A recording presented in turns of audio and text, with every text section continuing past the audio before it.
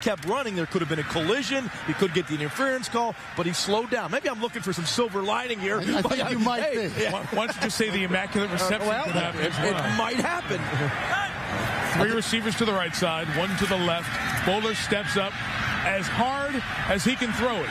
It's going to be shy of the goal line, but on the deflection it is. He caught it! But shy of the end zone, and the game ends.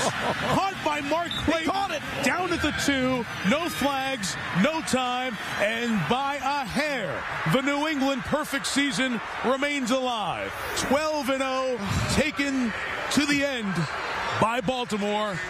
But the Patriots' pursuit of perfection continues 27 to 24. Brian Billick, Bill Belichick, the handshake. And the Ravens lose their sixth consecutive game, fall to 4 and 8, 52 yards on the Hail Mary, but a couple of yards shy. And Boller does a great job of getting air under this. He gets it right to the goal line. A jump ball. Mark Clayton goes up. That's uh, the we saw this in the Super Bowl with the Wow. Rams in Tennessee.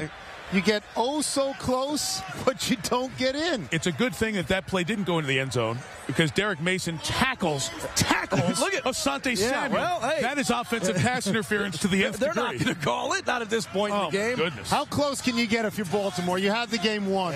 You did every.